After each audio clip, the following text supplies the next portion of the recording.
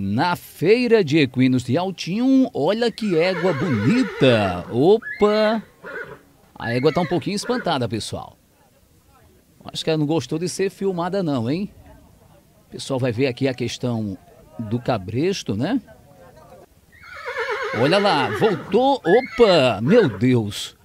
Veja o momento exato, pessoal, que a égua cai com o vendedor. Olha lá. Olha que tombo.